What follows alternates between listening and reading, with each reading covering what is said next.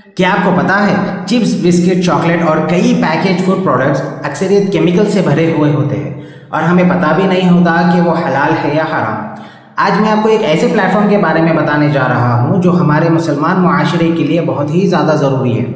इस प्लेटफॉर्म को आप गूगल पर एफ़ एम ओ हलाल हराम सर्च करके खोल सकते हैं।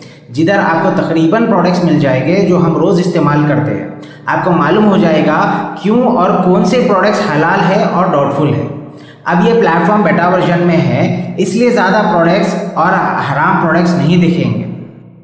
अब आपको कई सारे सवाल आ रहे होंगे, ये डाउटफुल क्या है? और हम क्यों इस डाउटफुल प्रोडक्ट को नहीं खाना चाहिए?